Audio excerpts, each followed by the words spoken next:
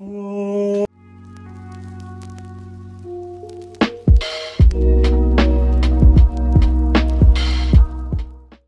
up guys? Welcome back to the channel. Hope you're doing well. Thank you as always for being here. You're looking really good. Like I'm looking at you and you're looking really nice.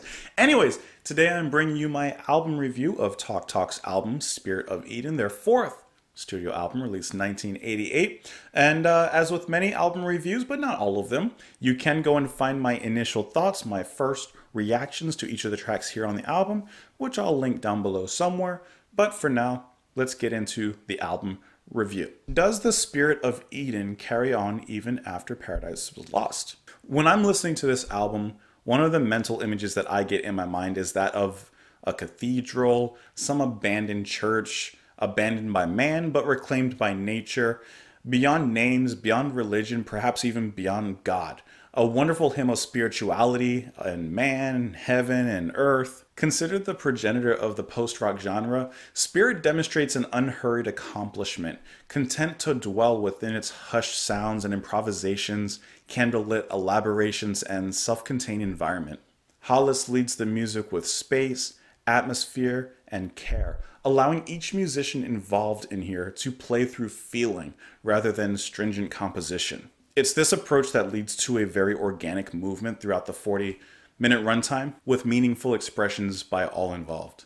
Also, of really big note is the production, which really captures every single note played and every single note withheld, every glancing chord, and allows the musical scenery to flourish. Opening with the rainbow, from nocturnal emptiness and orchestra finds their seats, tunes their instruments, and guitar indiscriminately begins to light the room. Harmonica sounds the alarm, and the journey in this album begins. Feltham's wavering harmonica rings a signal to song. With depth and soul, Hollis expressfully enters in a faint glow, edging our collective spirits with an unabashed mood. With a brief and blissful rise, a dash of dissonance before taking a softly vibrant mood, Eden is a really, really nice follow up track to the album with rich bass and very spiritual organ. It creates almost this musical and audio place of worship. The fervor is further flamed. Oh my god, who wrote that? with the constant dynamics and contrast, especially the very scratchy guitar that climaxes in each build up here in this track. Now, Desire I love the beginning of this track with its very solemn guitar and organ combination. Bass and piano slowly move inward before collapsing into its brief yet really frantic outburst. I really enjoy the raw percussion in this one, uh, especially the break halfway through with its growling guitar just stripping through. It really changes the environment from a very quiet intensity to a raucous shock. Inheritance moves us from soul shaking to soothing reflection. Hollis' syllabic enunciation marks every spoken line with emphasis, empowered with crisp drums and grounded bass.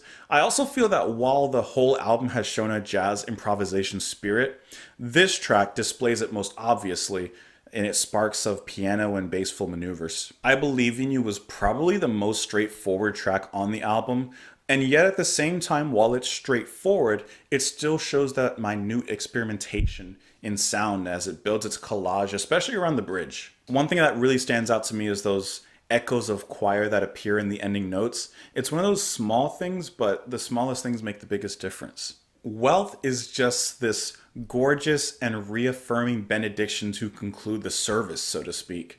I love how enveloped the organ becomes and how it makes me feel, and how warm the solace it provides. I also really enjoy the lyrics, especially on this one, and the connection between this track and inheritance, using the inheritance we've received from times past and opening the wealth we have to others.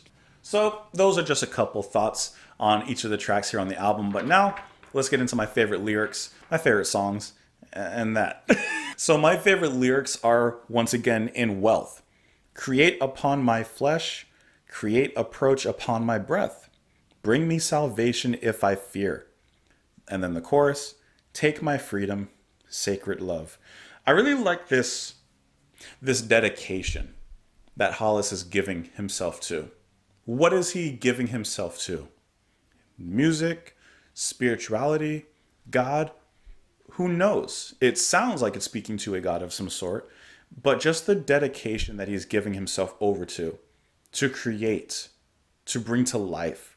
I think that that willpower that he's showing, that sacrifice he's showing, is just really something to be valued. And you can really hear that in the music itself. And then my favorite moment on the album is just all of wealth, to be honest. and then just getting into my basic song rankings for the album it's Wealth, The Rainbow, Eden, Desire, Inheritance, and I Believe in You. So, those are my thoughts on the album, but I want to know your thoughts because my thoughts I know, your thoughts I don't. So, you can please leave me your thoughts on the album down below. Uh, I want to hear your favorite lyrics, your favorite tracks, etc., etc., etc. And uh, before you leave, if you don't mind liking the video, that helps me a lot. You can also subscribe if you haven't already, because if you've watched this this far, like, come on, you know, just come on. Anyways, you can also follow me on Twitter and support the channel on Patreon. But I hope that you enjoyed your time here. Hope you enjoyed the album review. And I hope you have a wonderful rest of your day or night. I'll see you guys later. Bye.